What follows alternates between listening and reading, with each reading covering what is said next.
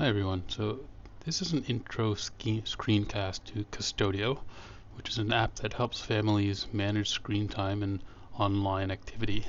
So it's actually designed to be used in open conversation with children uh, to help support building healthy screen time habits together with ensuring safe and balanced digital use. Uh, so I'm going to be doing the example um, by myself, but if you're doing this at home, it's better to have a conversation with your child first. For example, using the CDNIS Responsible User Agreement. Um, so I'm going to start by logging in. Okay, so if you don't have an account, uh, you can click on sign up if it's your first time. I'm just going to pause this for now while I get logged in and I'll come right back.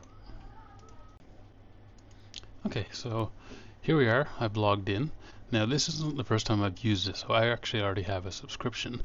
Um, but you can see down here I have subscribed to the premium version. So the free version will only allow you to connect one device. So if your child has more than one device, then you'll already want to upgrade it to at least standard. The reason I upgraded to premium is that it allows more flexibility in the screen time settings.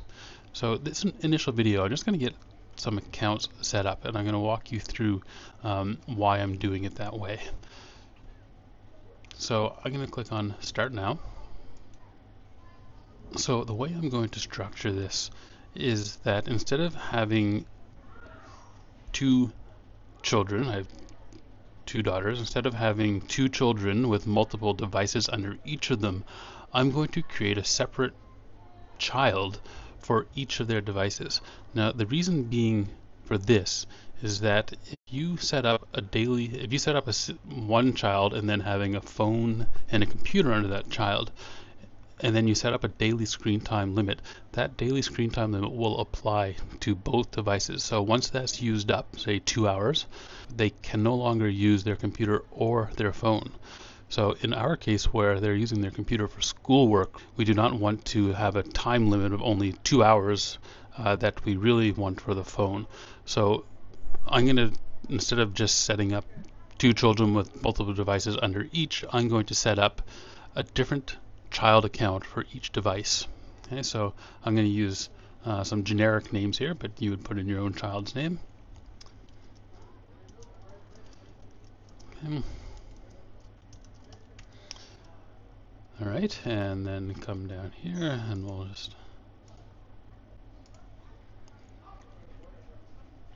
put some parameters in here and then next. Okay, and I'm going to stop there, okay, because I'm going to come back and then set up the devices uh, that are going to be under this uh, this iPhone, and I'm going to come back to my family, and I'm going to add another child.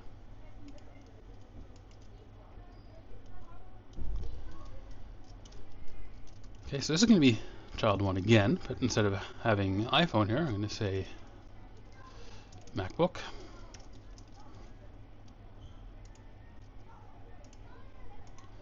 And use the same settings. Now this does mean you'll have to manage both of these um, each time you want to update a setting, uh, but I think it's preferable. Okay, I'm going to come back to my family again.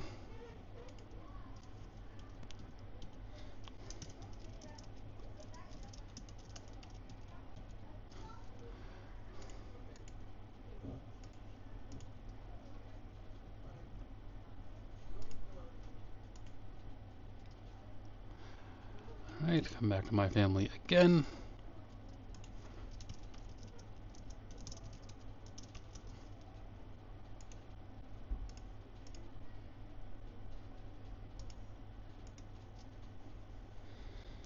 Alright, so now I'm going to click on my family.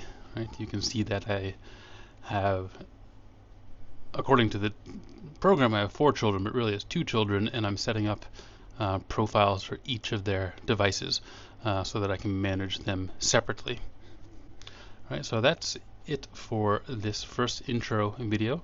In the next screencast, I will uh, connect one of my children's phones to this device and then after that we'll do a MacBook and show how they work separately. So if you liked this video please like and subscribe and we'll see you next time.